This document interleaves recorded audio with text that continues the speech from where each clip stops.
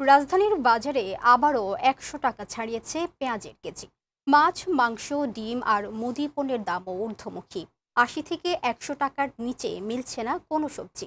সরকারের বেঁধে দেয়া দামেরও তোয়াক্কা করছে না ব্যবসায়ীরা। বাজারের এই অবস্থার জন্য সরকারের নজরদারির অভাবকে বড় কারণ বলছেন ক্ষুব্ধ ক্রেতারা। সালমা জাহান মুক্তার প্রতিবেদন। প্রকৃতিতে বৈরী আবহাওয়া কেটে গেলেও কাটছে না নিত্য পণ্যের বাজার নিয়ে নিম্ন ও মধ্য আয়ের মানুষের হতাশা। প্রতিদিনই বাড়ছে নিত্য পণ্যের দাম।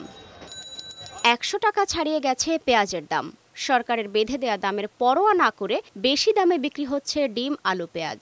নতুন করে বেড়েছে আদা রসুনের দামও। ক্ষুব্ধ ক্রেতারা বলছেন ব্যবসায়ীরা অতি মুনাফার লোভে সরকারের নির্দেশও তোয়াক্কা করছে না। এজন্য বাজারে নিয়মিত নজরদারির দাবি জানিয়েছেন তারা। ওই কিসের মনিটরিং হতেছে। হলে আজকে পটল দেখেন কালকে নিলাম পঞ্চাশ আজকে সত্তর চাই। আমরা যে বাজার করতে আসতেছি এখন হাফ এক জায়গায় এক কেজি জায়গায় হাফ কেজি নিতেছি। সিন্ডিকেট এক এক দোকানে এক এক দাম। এক দোকানে ষাট টাকা বেচতেছে আরেক দোকানে সত্তর টাকা বেচতেছে। কোনো মানে লাগাম ছাড়া যার ইচ্ছা মতো বিক্রি করতেছে।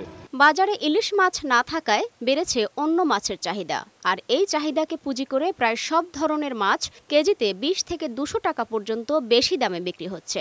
মাছের বাজারে এখন ইলিশ মাছটা তো বন্ধ। আর মাছটা আকাশে গোলযোগ অবস্থায় সরবরাহ একটু কম।